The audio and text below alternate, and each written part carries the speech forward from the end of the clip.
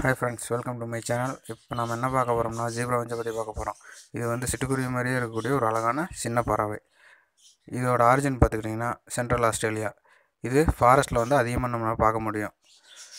இதனுடைய life span பார்த்தீங்கன்னா அஞ்சு டு எட்டு வருஷம் நம்ம பார்த்துக்கிறத பொறுத்து இருக்கும். இதுக்கு தீனி என்னென்னா சிறுதானியங்கள் அதுபோக பாயில்டு எக்கை வந்து க்ரெஷ் பண்ணி கொடுங்க. அதுக்கப்புறம் கீரை வகைகள் வெஜிடபிள்ஸ் இது எல்லாமே நல்லா நறுக்கி கொடுக்கலாம். வெஜிடபிள்ஸில் பார்த்துக்கிட்டிங்கன்னா கேரட் பீட்ரூட் பீன்ஸ் இது எல்லாமே நல்லா நறுக்கி கொடுத்தா நல்லாவே சாப்பிடும். லைஃப் ஃபுட்டில் பார்த்துக்கிட்டிங்கன்னா கரையான் மீல் வாம்ஸ் கொடுக்கலாம். இதனுடைய கேஜு கேஜில் வந்து தண்ணி வந்து எப்போவுமே சுத்தமாக இருக்கணும். டெய்லி தண்ணி மாற்றிடுங்க அப்படி இல்லைன்னா இன்ஃபெக்ஷன் வரும். இதனுடைய கேஜி சைஸ் வந்து one into one into one point five இருக்கிறது. ரொம்பவே நல்லாயிருக்கும். குறைந்தபட்சமாக அந்தளவு கரெக்டாக இருக்கும் அதுக்கு. இதோட ஜெண்டர் வந்து சிக்கில் வந்து கண்டுபிடிக்க முடியாது. செமி அடல்ட்டில் தான் கண்டுபிடிக்க முடியும். அதுக்கப்புறம் இதை ப்ரீடிங் போடுறது வந்து ஆறு டு எட்டு மாதத்துக்கு அப்புறம் போட்டிங்கன்னா இதோட ரிசல்ட் நல்லாவே இருக்கும்.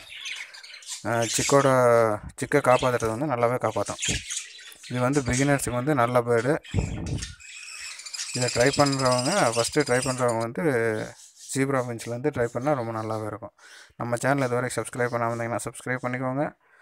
பக்கத்தில் இருக்க பெல் பட்டனையும் கிளிக் பண்ணிக்கோங்க. அப்போ தான் நாம் போகிற வீடியோ ஒன்று ஒன்று உங்களுக்கு வரும்.